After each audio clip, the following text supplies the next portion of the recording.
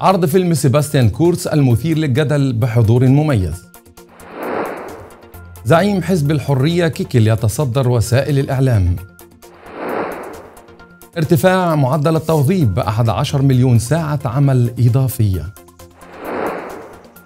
حكم مخفف على ممثل جمع 76 ألف ملف مسيء للأطفال. واعتقال سائق تاكسي تركي سرق 39 راكبا مخمورا. وأخيرا انتحار نمساوي في غابة كان قد تحرش بطفلة جنسيا.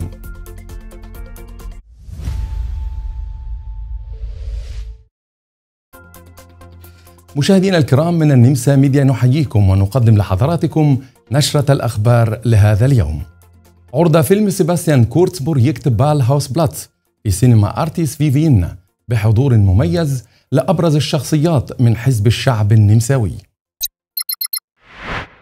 وتصدر المشهد سيباستيان كورتس نفسه ووزراء سابقين وأعضاء حكومة حاليين من حزب الشعب على رأسهم المستشار نيهاما ووزير الخارجية شالنبرغ. ونفى كورتس الشائعات حول عودته إلى السياسة مجيبا بكل مرة بلا بالتأكيد لا. ويدور الفيلم حول وجهة نظر كورتس حول مسيرته السياسية. وقد شارك فيه العديد من السياسيين كشاهدين على مرحلة كورتس تصدر زعيم حزب الحرية النمساوي اليميني هربرت كيكل مشهد وسائل الإعلام خلال شهر أغسطس حيث حصل على المرتبة الأولى في الوسائل الإعلام للسياسيين في النمسا. وبينت وكالة الأنباء النمساوية أن وجوده الإعلامي ارتفع بنسبة تزيد عن 50% مع نشر 658 مقالا عنه. يليه رئيس الحكومة وزعيم حزب الشعب النمساوي كارل نيهاما في المرتبة الثانية ب 607 مقال.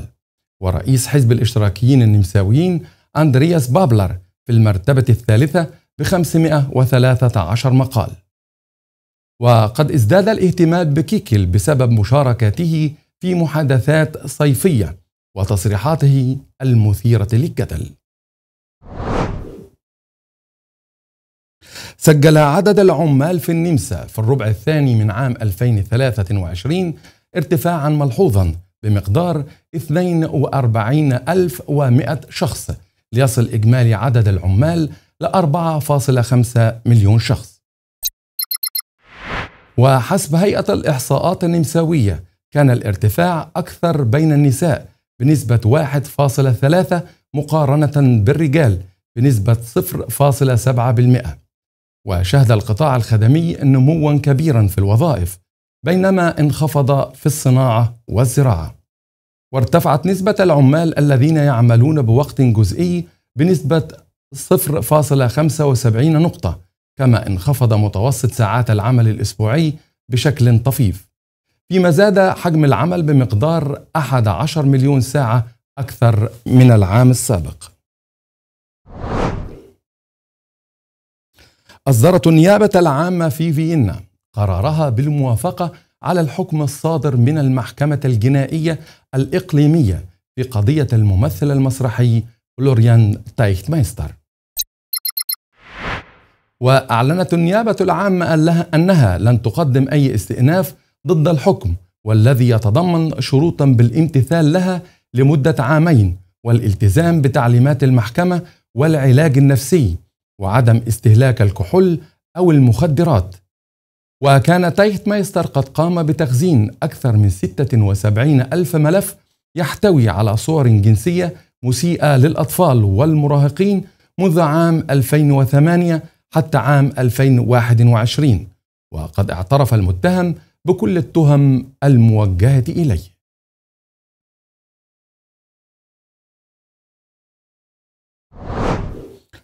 اعتقلت الشرطة النمساوية سائق تاكسي تركي الجنسية قام بسلسلة من السرقات وتم اعتقاله في كمين خاص بفيينا.